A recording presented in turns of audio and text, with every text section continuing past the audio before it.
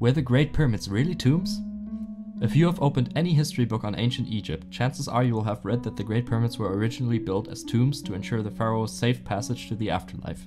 But can we really confidently make that claim? While it is true that the afterlife occupied a central role in Egyptian cosmology, no mummy was ever found in the Great Pyramids.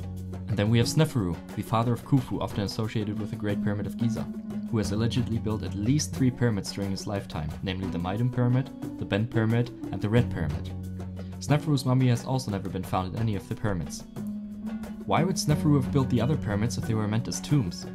Archaeologists usually explain that he must have built the other pyramids as a result of trial and error from the previous failed pyramid projects, such as the Bent Pyramid. But can we really say that with confidence? Let me know and share your opinion in the comments.